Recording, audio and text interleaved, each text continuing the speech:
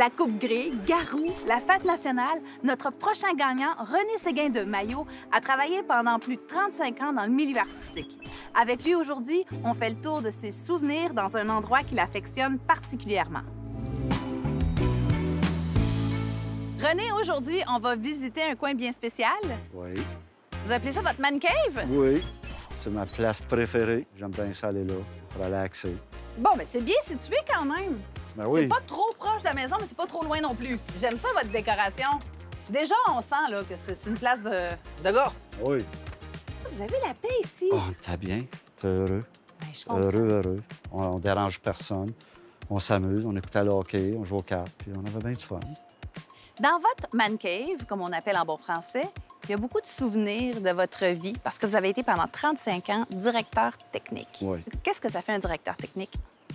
Bien, je dirigeais euh, plusieurs shows.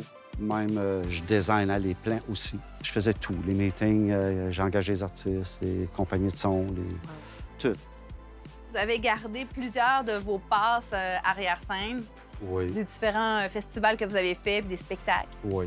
Puis il y a aussi les photos des artistes que vous avez côtoyés. Oui, j'en ai une couple là. Ça a été des, des belles années pour vous. Vous avez adoré ça. Des belles années.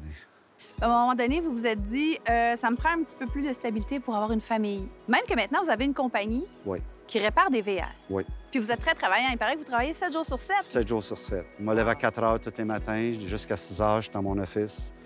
Faire toute la, paperasse, puis préparer les soumissions pour les clients. Mhm. Après ça, je cours faire mon lunch, parce que je suis en retard. Oui. Tout me lever à 4 heures, mais je suis en retard.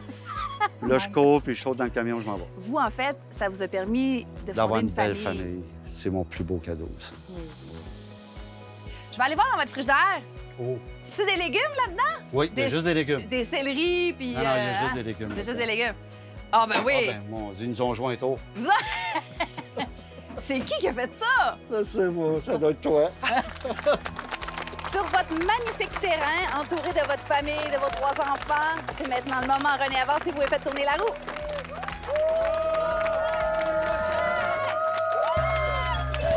Et c'est parti! On regarde ensemble ce qui va se passer avec la possibilité de remporter un million de dollars.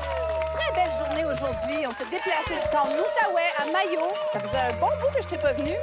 C'est un magnifique coin avec des segments de 100 000 de 200 000 Il y a un segment de 200 000 ici. Segment étoilé, nouveauté cette année, qui donne 5 000 en crédit voyage supplémentaire. La- 100 000 La boule pour mobiliser sur un beau 100 000 C'est un lot important. On est tellement contents pour notre gagnant. René, René, on vous souhaite beaucoup de bonheur. Félicitations,